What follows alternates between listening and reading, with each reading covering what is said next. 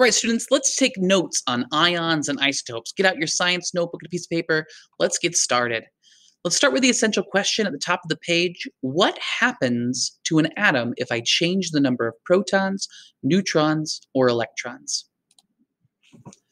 Previously, we learned about the periodic table and how it organizes atoms based on different properties. On the periodic table, we can get each element's information from each of the element cards, such as the atomic number, the element symbol, the name, and the atomic mass. From this, we learn generally about the different numbers of subatomic particles. But what happens if we change those numbers? Let's start with the proton. The protons come from the atomic number. That's the identity of the atom.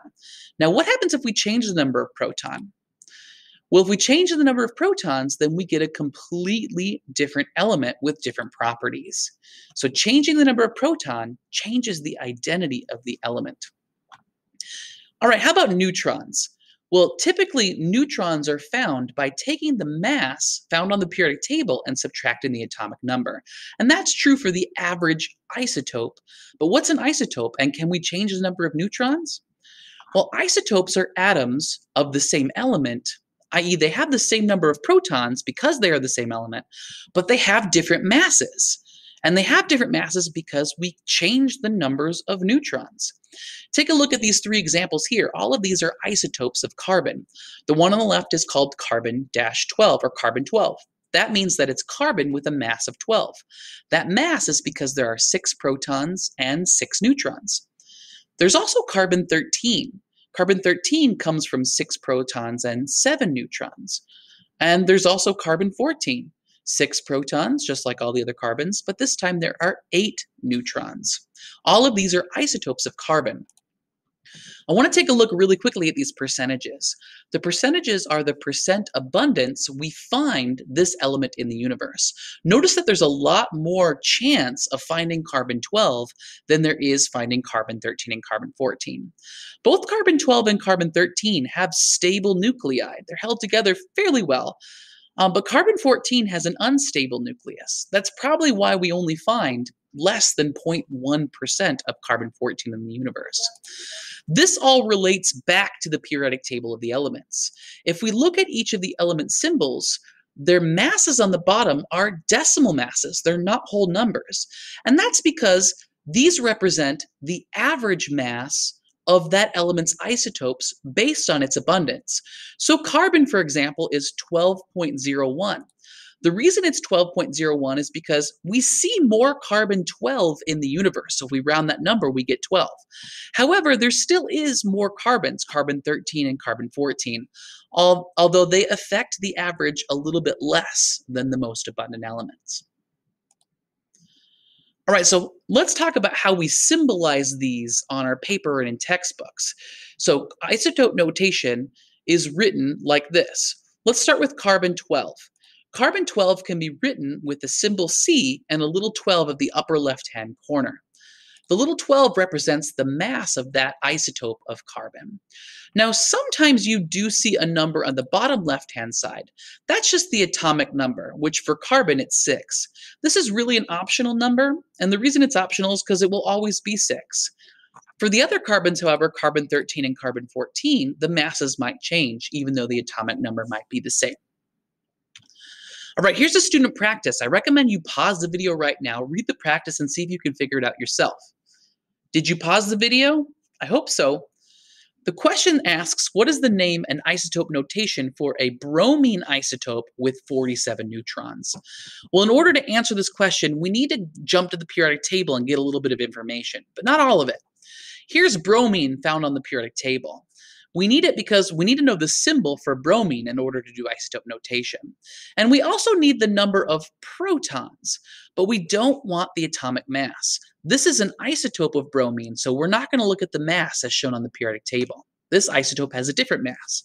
We get the mass by taking the number of protons, which is always 35 for, for bromine, and we add it to the number of neutrons, which is new for this isotope.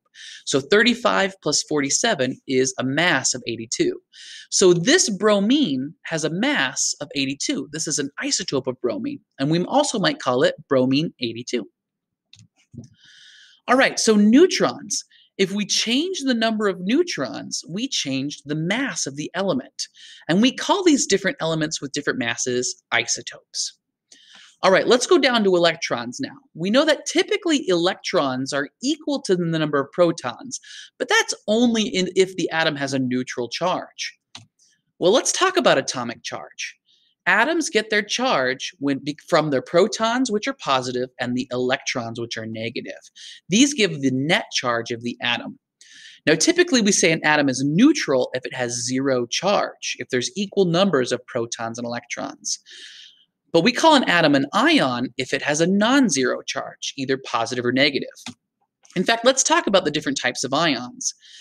An atom is a, or an ion is a cation if it has less electrons than normal and a positive charge. An atom is called an anion if it has more electrons than normal and a net negative charge. I like to remember cations because of cats. Cats have paws, just like cations have positive charge. Here's ion notation. This is how we would write in textbooks and our, and our notebooks ions for different elements. The one on the left is bromine, that's a negative 2 ion. So we would write a little 2, negative 2 at the upper right-hand corner. This means that this bromine has two extra electrons than it normally does.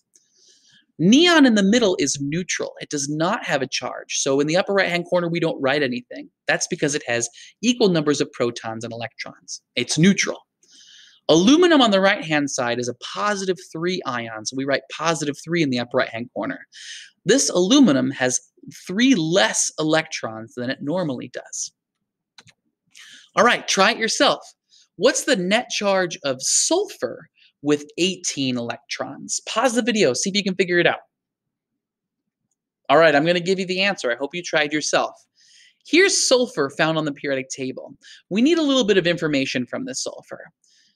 We need to know the number of protons. Sulfur always has 16 protons. So sulfur has 16 positively charged subatomic particles in it. That's important for the charge. Now, this sulfur is special in the practice. It doesn't have the normal number of electrons. It has 18 electrons. Electrons provide negative charge to this sulfur, so I'm going to add negative 18 to this sulfur. So if I take positive 16 and add negative 18 to it, then I'm going to get a total net charge of minus 2. So I'm going to write the symbol of sulfur with a little with a negative 2 in the upper right hand corner. All right, so going back to electrons, if we change the number of electrons, we change the charge of that element. And if that element has a charge, we typically call it an ion, either a cation or an anion. That's the end of our notes. Let's take some time right now and review and highlight those key terms. If you have a highlighter or colored pencil, this is a great time to go back and get this essential stuff. Ponder and ask questions. Are you still confused? Well, maybe write those questions down and seek answers to those questions. Either ask your instructor, ask somebody else, or search for external answers from YouTube or web searches. Finally, summarize and answer the essential question. Do you remember that essential question you wrote at the top of your page? Can you answer that with detail? Can you answer it with examples? If so, you're off to a great start. All right, good luck.